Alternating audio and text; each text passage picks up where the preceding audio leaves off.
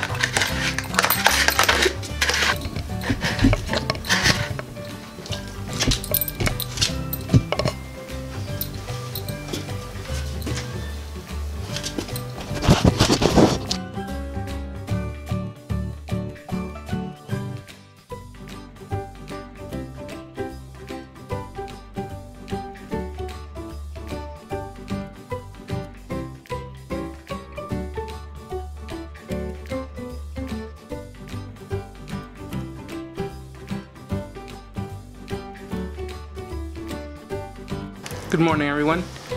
Um, so today, holidays are over. I hope you all had a really good Christmas and a Happy New Year.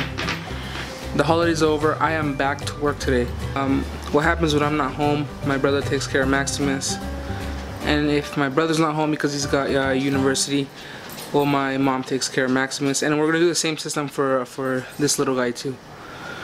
So we'll see how it goes the first day without me here. But anyway, I don't know how much filming uh, my mom and brother are going to do. They're not really comfortable using my big camera, which is the one I'm filming on right now.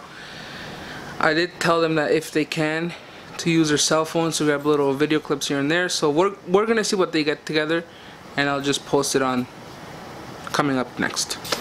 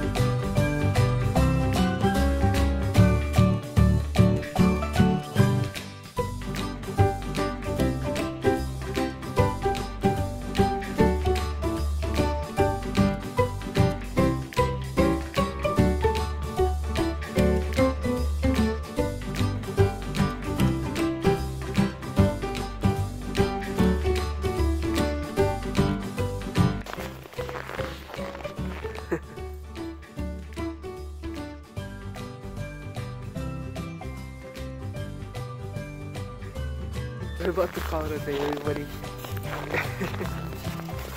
We're just outside before going to bed. Oh, he's got to business. Let's give him some privacy. But anyway, as I was saying, we're headed to bed. He's been a really good boy. And every day he gets bigger. It feels like every day I look at him, and he grows. Look at him. He grows so fast. Honestly, it's, it's so cute. They grow so fast. It's such an exciting time when your puppies. You see them grow, you see their personalities develop.